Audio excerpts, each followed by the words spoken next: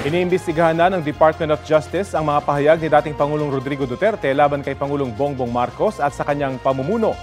Sa press con sa Davao City nitong lunes, sinabi ni dating Pangulong Duterte na may mali sa pamumuno ni Pangulong Marcos Jr. at tanging militar at pulisya lang daw ang makapagwawasto nito. Para kay Justice Undersecretary Jesse Andres, bordering on sedition ang mga pahayag ni dating Pangulong Duterte at maaaring gawa ng legal na aksyon. Una nang sinabi ng Armed Forces of the Philippines na mananatili silang tapat sa konstitusyon at nanawagang huwag na silang idamay sa politika. Halos ganyan din ang panawagan ni PNP spokesperson Brigadier General Jean Fajardo sa panayam sa Super Radio DZBB.